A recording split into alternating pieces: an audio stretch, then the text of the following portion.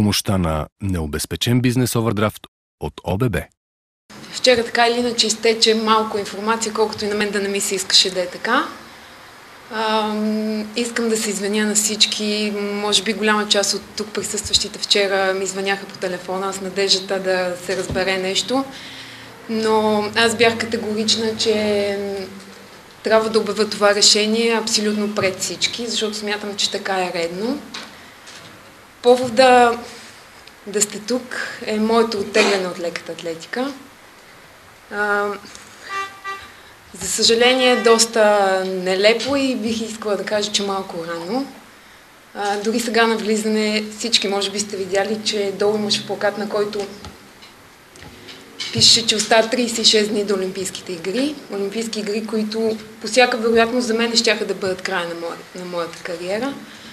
Но наистина имах голямото желание да участвам на тях и не само да участвам. И точно повода, че имах голямото желание не само да участвам на тези игри, а, доведе до взимането на това решение.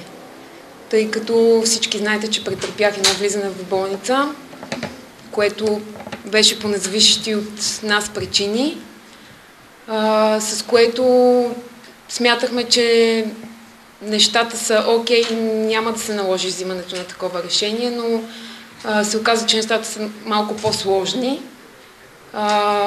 Възстановяването ще бъде малко по-бавно, възоснова на което аз а, прецених, че дори да се опитам тези 36 дена да направя нещо, то няма да е достатъчно за това, което аз искам да постигна на тези игри.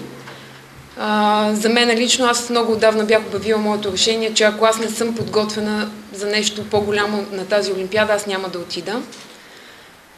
А, това е, може би, най-тежкото решение, което съм взимала, но смятам, че всички вие ще ме разберете, че това решение е супер отговорно. А, единственото нещо, което искам само да кажа, е, че съм безкрайно благодарна на Българска федерация лека атлетика за това, че през последните години те продължиха да вярват в мен, дори когато и аз не вярвах. За безкрайната им подкрепа, за всичко, всичко, което са направили за мене.